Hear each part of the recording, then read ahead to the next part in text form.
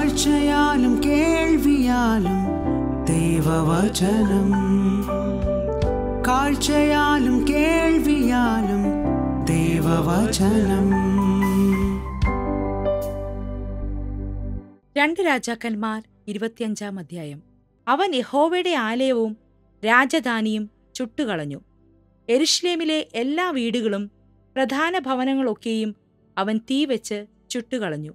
അകമ്പടി നായകനോട് കൂടെ ഉണ്ടായിരുന്ന കൽദയ സൈന്യമൊക്കെയും എരുഷ്ലേമിന്റെ ചുറ്റുമുള്ള മതിലുകളെ ഇടിച്ചുകളഞ്ഞു. നഗരത്തിൽ ശേഷിച്ചിരുന്ന ജനത്തെയും ബാബേൽ രാജാവിനെ ശരണം പ്രാപിച്ചവരെയും പുരുഷാരത്തിൽ ശേഷിച്ചവരെയും അകമ്പടി നായകനായ നെബുസരദാൻ കൊണ്ടുപോയി.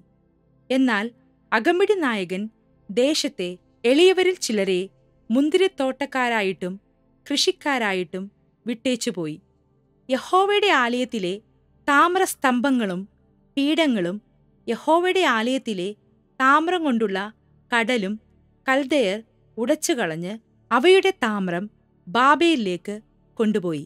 കലങ്ങളും ചട്ടുകങ്ങളും കത്രികകളും തവികളും ശുശ്രൂഷയ്ക്കുള്ള താമ്ര ഉപകരണങ്ങളൊക്കെയും അവർ എടുത്തുകൊണ്ടുപോയി. തീച്ചട്ടികളും കലശങ്ങളും പൊന്നും വെള്ളിയും കൊണ്ടുള്ളതൊക്കെയും അകമ്പടി നായകൻ കൊണ്ടുപോയി. ഷലോമോൻ യഹോവയുടെ ആലയത്തിനു വേണ്ടി ഉണ്ടാക്കിയ രണ്ട് സ്തംഭം ഒരു കടൽ പീഠങ്ങൾ എന്നിങ്ങനെയുള്ള സകല ഉപകരണങ്ങളുടെയും താമ്രത്തിന് തൂക്കമില്ലാതെയിരുന്നു. ഈ തിരുവചന ശുശ്രൂഷ എല്ലാ ദിവസവും നിങ്ങൾക്ക് ലഭ്യമാകുവാൻ താഴെ കാണുന്ന വാട്സപ്പ് നമ്പറിലൂടെയും പവർവിഷൻ ഓൺലൈൻ പ്ലാറ്റ്ഫോമുകളിലൂടെയും ബന്ധപ്പെടുക. വചന വെളിച്ചം ലോകമെങ്ങുമെത്തട്ടെ.